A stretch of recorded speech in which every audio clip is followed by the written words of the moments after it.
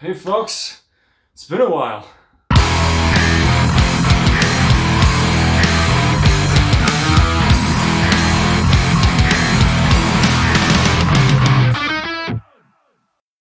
Hey everybody, this is X from Gürschach.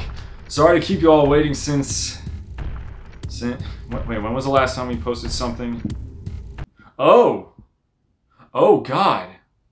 Wow, uh, that was 10 months ago. I am so sorry. But listen, I can explain. So, you remember our little Kiss Our Jobs Goodbye tour? Slayer! Slayer! Slayer! Yeah, that, that that didn't stay true for very long. But there's some good news. As it turns out, uh, Scotty found some way to make some money on the side.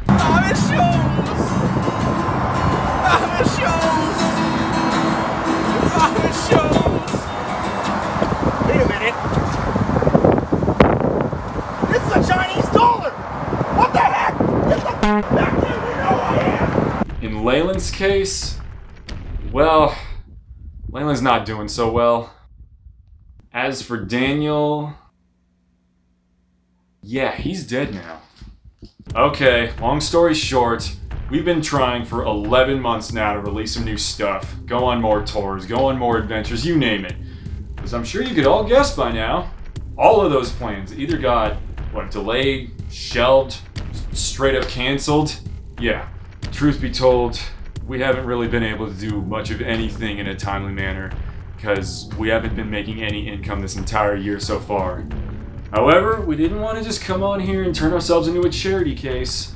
None of us really like the idea of coming to our audience just to beg.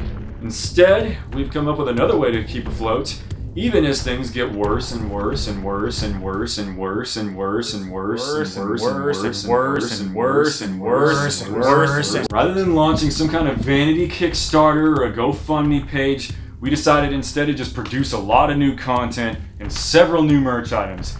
And we didn't half-ass it either. Like, I gotta say, this stuff's pretty fucking legit. You'll be the first ones to know when it's out. I guess you could say, even in rough times, we've been sticking true to our message. Your shirts. Well, this is just gonna be a short update video, and I've already gone on long enough. So, bottom line, we cannot thank you enough for sticking with us through all the silence. You are the real ones here.